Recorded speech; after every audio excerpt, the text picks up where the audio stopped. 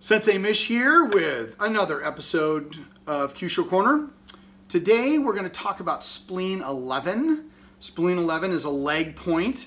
Um, so uh, when we get back into it, we're going to be at a different angle. Um, but let's get to it.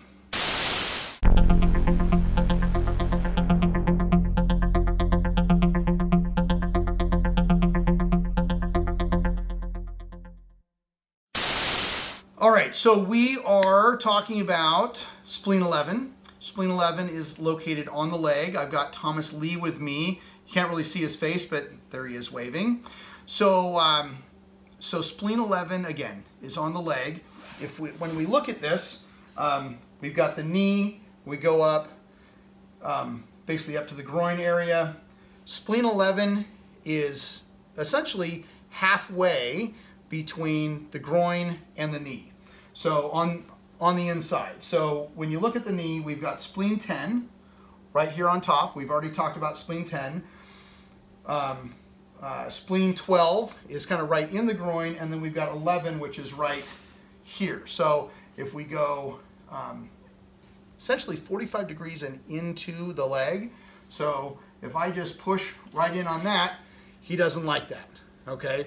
Now, this could be a push, this could be a strike, this could be a kick, all right? Not necessarily a rub, but um, um, now if I uh, if I pretend that uh, that my hand is a foot and I kind of come in here and I basically I kick this way or even knee, you could use your knee. But if I come in and I strike that, you can kind of see that uh, that he does get some type of reaction.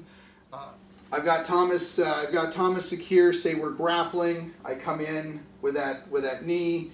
Okay. I come in, and I got that strike. Okay.